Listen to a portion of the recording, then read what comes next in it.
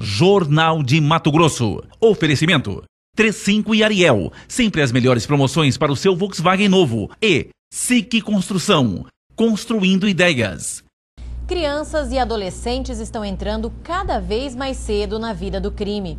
Isso não é novidade nas capitais brasileiras, mas está acontecendo também em cidades menores devido ao avanço da internet.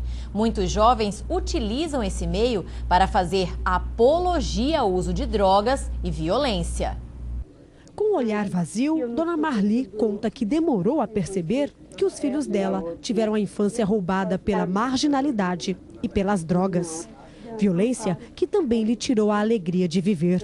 Dos cinco filhos, três estão ameaçados de morte e tiveram até de deixar o bairro. Eu tive que deixar, virar pai e mãe ao mesmo tempo, né? Então eu deixava ele sozinho e ia na luta, né? Para poder ajudar para dar alguma coisa boa para eles, né? Alguma coisa, né? roupa, calçada, né? Remédio.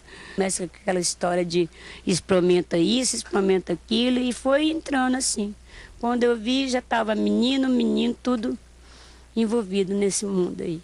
Agora, a filha do meio, de apenas 15 anos, também entrou para o mundo do crime. Faz o chamado aviãozinho, termo utilizado pelos traficantes que usam dos menores para entregar os entorpecentes. E se não bastasse isso, ela passou a roubar e se prostituir para pagar dívidas de drogas. Ela estava lá no, no zero quilômetro lá. Que nem, um, que nem uma mendiga para poder pagar dívida dos traficantes. E gastaram, gastou o dinheiro dos traficantes e foi lá se prostituir para pagar. E nem saúde, nem terminou os estudos, não quer estudar, não quer fazer nada. No pé da imagem de Nossa Senhora, a foto do filho mais novo e o pedido para que ele escape desse destino.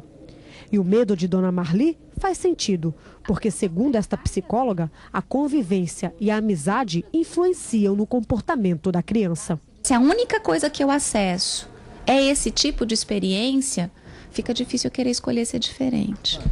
Mas engana-se quem pensa que apenas jovens de periferia correm o risco de sofrer este tipo de influência. Na internet, é comum encontrarmos vídeos que fazem apologia ao crime. Quase todos mostram crianças e adolescentes cheios de estilo, com expressão de que tudo está ótimo e que com eles nada de mal pode acontecer. Talvez por acreditarem na letra desta música, ritmada pelo funk.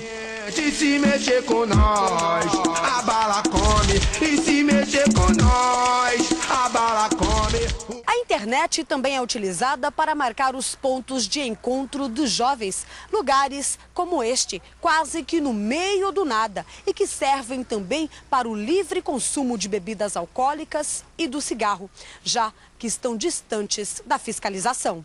Mas ela vai muito além disso. Este vídeo, com mais de 4 mil visitantes, denominado MP Facção do Mapim, é outro exemplo. Nele, crianças têm sua imagem vinculadas a armas de fogo.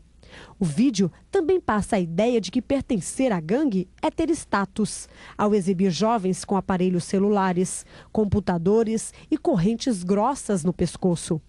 Aqui, eles fazem ameaças de morte. Neste outro, avisam que visitantes nem sempre são bem-vindos em determinados bairros de Várzea Grande. A questão é: você gostaria que seu filho, ou seu aluno, ou seu amigo eh, diminuísse o contato dele com essas experiências? Não proíba. Sente converse e pergunte o que, que esta pessoa gostaria de fazer de diferente. Não basta você dizer não faça. Isso não tem função nenhuma. O importante é você perguntar o que, que você quer fazer e está disponível para fazer junto.